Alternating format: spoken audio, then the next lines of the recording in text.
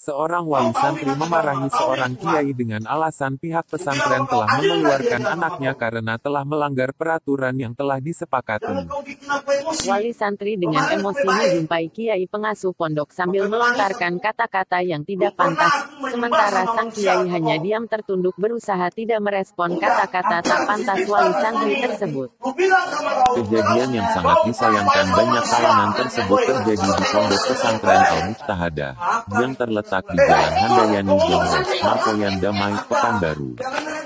Videonya pun viral di media sosial dan mendapat respon yang beragam. Aku dipukul.